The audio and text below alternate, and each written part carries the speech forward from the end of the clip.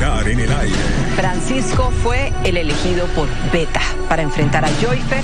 Elegir al desafiante que los representarán en la competencia. Aquí están los candidatos. Muchachos, yo creo que elegimos. O escoger estratégicamente quién irá al próximo desafío a muerte. En sus manos está la decisión. ¿Quién enfrentará a Dixon, el último chaleco de este ciclo? Desafiantes de la semana llegan a representar a Beta y Omega hoy. Deberán escoger el que mejor los represente y los salve del temido castigo. ¿Le enviarán el chaleco a Natalia por fin, o si gana Omega se lo enviarán a Glock? ¿Cuál competidora sacará a Dixon? Pues ya es sabido según diferentes cuentas en redes que los próximos eliminados serían Joyfer, y de mujeres Glock y Dixon en cualquier orden. ¿Qué tal serán los desafiantes invitados de hoy para la prueba de aire?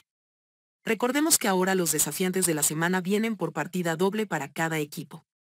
Nando, juez penal militar, Luis maestro de obra, Paola manicurista, y Luz, una mecánica.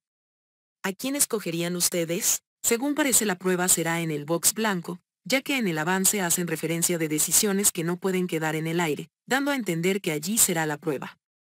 En el avance, no tenemos imágenes de los desafiantes compitiendo, sin embargo, cuando están reunidos con Andrea para la premiación, se pueden ver a los Omega muy sonrientes, sobre todo a Natalia y Karen, así que podría ser que hayan ganado, pero también puede ser que ellas se miren, por escuchar que van a enfrentar a Dixon, y tras los últimos roces con ella, dan a entender que ya saben a quién escogerá Dixon, pues ya declaró que quiere perjudicar a Natalia, y aparte de eso, ya se sabe que Karen podría sacar a cualquiera de las mujeres, así que no creemos que se arriesguen con ella.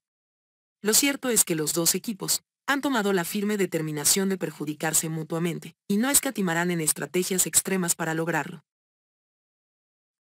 Beta ganó la prueba en el desafío, sentencia y servicios y puso en peligro de eliminación a un participante de Omega. Este es el hombre que se enfrenta a Ioifer mañana en el desafío a muerte. En Beta comentan acerca del próximo sentenciado. Aunque llegan a un acuerdo, Darling plantea que le gustaría que el siguiente hombre que quede en riesgo sea Santi, ya que no lo considera merecedor de estar en una semifinal. Usted tiene que tranquilizarse en la definición. Usted se tranquiliza y usted puede Y escuchar. ¿Y qué tal Santi? Llegue a la semifinal y le calle la boca a Darling.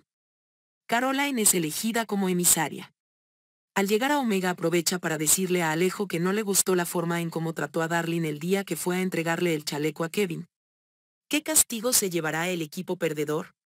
Esta prueba parece que la gana Omega, y deben elegir quién se enfrenta a Dixon. Si es así, ¿a quién crees que le mandarían el último chaleco del ciclo?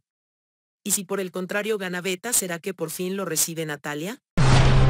Muchachos, yo creo que elegimos. O escoger estratégicamente quién irá al próximo desafío a muerte. En sus manos está la decisión. ¿Quién enfrentará a Dixon? Chaleco de sentencia. El último de este ciclo. Desafío. ¿Y qué piensas del gesto que tuvo Hércules con Ioifer al cederle el turno para multiplicar su dinero en Bad Play?